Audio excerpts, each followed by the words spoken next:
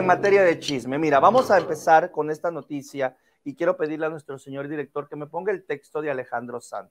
Y vamos a abrir debate en este programa porque lo, lo vamos a hacer de una manera amplia, de una manera general, de todo lo que se vive en el mundo del espectáculo, ¿no? Cuando yo leí esto, lo miraba y no lo podía creer. Yo me puedo imaginar este tipo de situaciones en todos los artistas del mundo del espectáculo. Sabemos que eh, eh, hay muchos vacíos, hay muchas personas del mundo del espectáculo que se sienten y que se tienen que enfrentar a muchos demonios, pero de Alejandro San nunca me lo imaginé, ¿no?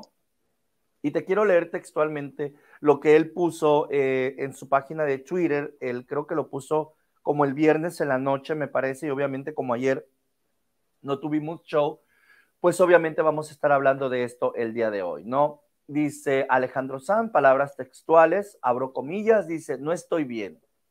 No sé si, esto, no sé si esto sirve de algo, pero quiero decirlo.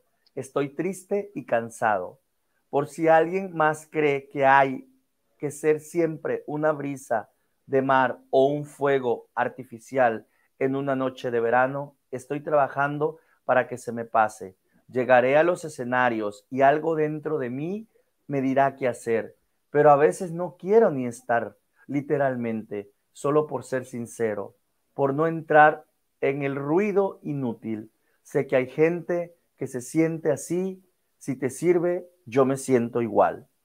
Obviamente, estas palabras metafóricamente o si las desglosamos, son palabras muy profundas de un gran verdadero artista, de un gran verdadero cantante, ¿no? ¿Y por qué me impactan mucho sus palabras? Porque nunca lo hemos visto en controversia, en consumiendo cosas ilícitas, hablando malas palabras, siempre la letra de sus canciones pues son unas letras que le cantan al amor, que le cantan a, las cosas que inspiran en la vida, ¿no?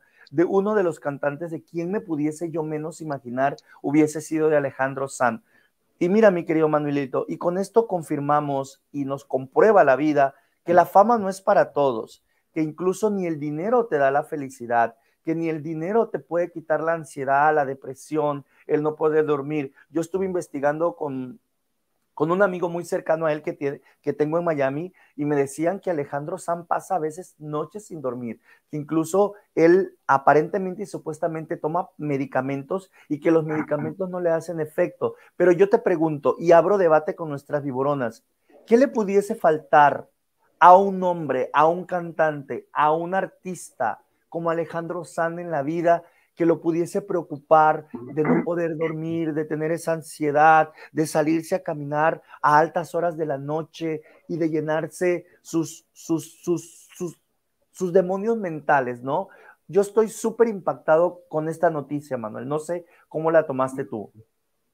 Fíjate que también estoy en shock porque pues ahora sí que como dice, no, mi querido Ángel, ni todo, ni todo el dinero, ni toda la fama pues te da esa felicidad o eh, te asegura, te da como esa garantía de, felicidad, ¿no? Así pues tengas una bonita casa, vivas en un buen lugar, tengas buenas amistades, no sé, dinerito, lo que tú quieras, una carrera, un hombre, pues obviamente no estás exento de, de, una posible pues depresión, mi querido Ángel, y la verdad pues me preocupa porque obviamente siempre hemos visto a un Alejandro Sanz pues fuerte, eh, trabajador, siempre está ahí y toda la cosa, ¿no? Pero lo que me llama la atención es que yo creo que a lo mejor ahorita no debería de hacer giras porque obviamente ni siquiera eso le está sirviendo. Hay muchas personas que se sienten tristes, muchos muchos artistas, pero dicen, a mí mi trabajo me levanta, yo me siento bien, este, todas estas cosas, ¿no? Pero como él lo menciona textualmente, o sea, él ni con eso se siente bien. Ojalá, mi querido Ángel, definitivamente esté viendo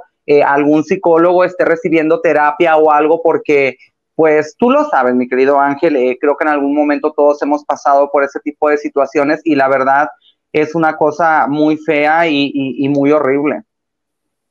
Sí, mira, son cosas muy tristes, muy horribles, muy lamentables. Yo pienso que cuando pasamos por etapas de situaciones en la vida, eh, yo la verdad, a mí me impacta mucho, mi querido Manuel, porque quiero compartir contigo y con mis, mis viboronas un proceso el que yo estoy pasando ahorita, ¿no? En este proceso de que estuve en la situación de la salud, a mí me, eh, me hacían la diálisis en el brazo y por situaciones de que explotó la vena, me tuvieron que poner un catéter de, de, emergencia en el lado derecho conectado a una vena y esa vena va al corazón. Y eso me ha tenido en una ansiedad, en un, en una, en un miedo, en una incertidumbre, porque es un proceso muy riesgoso. Es, es algo que estás como al borde de la muerte, porque Dios no quiera, se sale la vena, se sale la manguera que va conectada a la vena. Entonces son procesos muy difíciles, ¿no? Y la verdad, yo me pongo en su lugar de él y me reflejo a mí mismo, pero a la vez me da como una cierta esperanza, ¿no? De, de luchar, de seguir adelante, de tener esa paz, de tener esa tranquilidad que a veces yo digo, ok, si tuvieran los millones de seguidores o tuviera los millones de vistas o los millones de vistas en TikTok, en realidad eso me va a nutrir, en realidad eso me va a quitar la ansiedad. Yo creo que fíjate que no, Manuel, yo pienso que que todas esas son fantasías, ilusiones perdidas de toda esa gente que se cree famosa, de que se cree, cree, influencer, de que se cree que porque la gente lo ve ya se sienten realizados. Nada de eso es real, todo es una fantasía perdida y lo podemos comprobar con lo que está manifestando Alejandro Sanz. No, yo pienso que son una manera de manifestar sus inseguridades. Y lo vimos con J Balvin, cuando él manifestó algo similar a lo, a lo que le estaba pasando y cómo él aún todavía sigue batallando y sigue lidiando con esa depresión, ¿no? Pero con esto también pudiese venir a ser una metáfora o un reflejo para todos los artistas, no sé, como Peso Pluma, como Natanael Cano, como Chiqui Rivera, como Johnny López, como Jenica López, como todos esos artistas, Becky G, todos esos artistas, Dania Méndez, que se sienten la última Coca-Cola del desierto y sienten que la vida no los merece. La verdad, eso es una forma de protegerse de ellos, de no mostrar sus verdaderas inseguridades y de no sentirse vulnerables a la verdadera situación.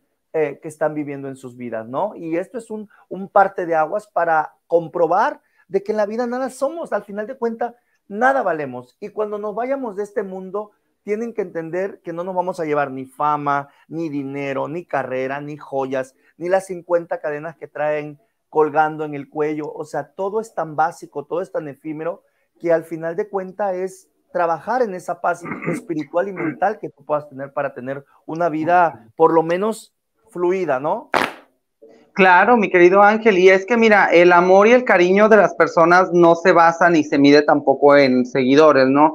Porque yo, por ejemplo, me ha tocado ver mucho en las redes sociales últimamente de que te bufan y te critican que por los seguidores que tienes y ese tipo de cosas, cuando pues a nosotros pues literalmente nos vale ñonga, mi querido Ángel, a ti y a mí, los seguidores que podamos tener o no podamos tener. ¿Por qué? Porque los que están aquí o las que están aquí es de muchísimo cariño, mi querido Ángel, están aquí porque nos quieren, están aquí porque les alegramos, se divierten con nuestras payasadas, están aquí echando chismes sobre las notas del espectáculo y yo creo que eso es lo más bonito, ¿sabes? Entonces, preferible estar así, los que tenemos, a tener cientos y cientos y cientos, pero ¿de qué te sirven cientos y cientos? Además, no toda la gente que te sigue es porque te quiere. De hecho, yo me atrevo a decir que la mayoría de la gente que te sigue es porque te odia y está nada más ahí viendo a ver en qué momento cómo te van a, cómo te van a fregar, ¿no?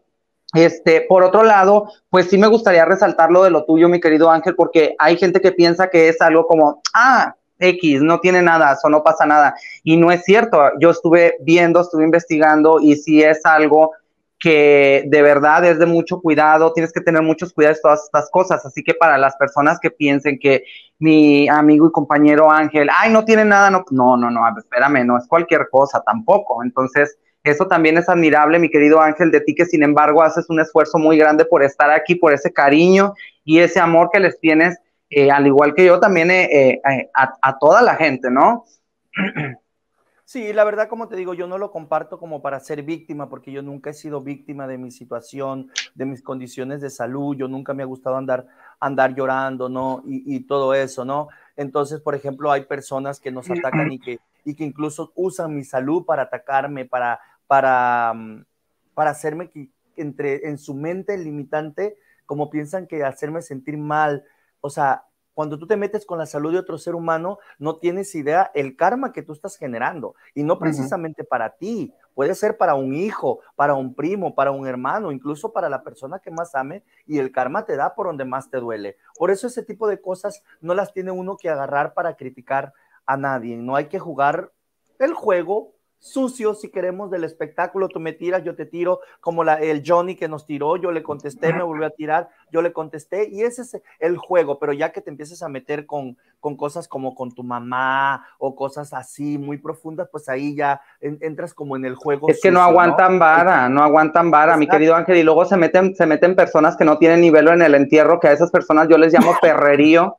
le llamo jauría de perros a todos esos y no me voy a retractar, la verdad, porque eso es lo que son, se meten en cosas que no deben de meterse. Obviamente nosotros estamos dando una nota, estamos dando una opinión, obviamente nada es personal, inclusive hasta las mismas, hasta las mismas personas, mi querido Ángel, a veces de las que estamos debatiendo se están riendo, o sea, de, de, de, de, lo que estamos diciendo y todo. Y digo riendo en el buen sentido de que les causa gracia por la manera en cómo lo decimos y todo, por allá el perrerío haciendo chile, pues por donde no. Entonces, pero bueno. Pero así es, mi querido Manuelito, mientras tengamos boca nosotros vamos a hablar y nadie nos va a poder cachar. Y si piensan que al atacarnos nos van a intimidar, jamás. Pero bueno. Síganos dando más fama. Mi querido Manuelito, ¿cómo es? Toma.